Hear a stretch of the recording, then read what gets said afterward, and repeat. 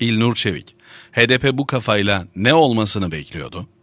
Maalesef PKK'nın Türkiye Büyük Millet Meclisi'nde uzantısı olduğunu her gün defalarca ispat eden bir HDP'nin ateşle oynadığını bilmeyen var mı? HDP alay eder gibi halkı sokaklara dökmüş ve 50'den fazla vatandaşımızın kanına girmemiş midir? HDP'li belediyeler PKK'lıların ayaklanma girişimlerine Doğu ve Güneydoğu'daki illerimizde ve ilçelerimizde ciddi bir şekilde katkıda bulunmadılar mı? Yani HDP'li belediyeler PKK'lılar için iş makinalarını kullanıp hendekler, siperler kazmadılar mı? Belediye imkanlarını PKK için seferber etmediler mi? Devletin verdiği paraları PKK'ya peşkeş çekmediler mi? Her yerde bu belediyeler PKK'lıları kadrolarına almadılar mı? Bunlar bir bir belgelenmedi mi?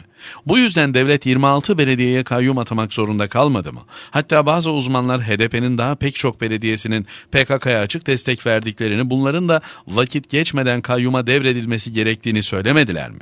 HDP'li milletvekilleri PKK için silah ve bomba taşıyıp onlara yardımcı olmadılar mı? Bütün bunları yaparken suçüstü yakalanmadılar mı?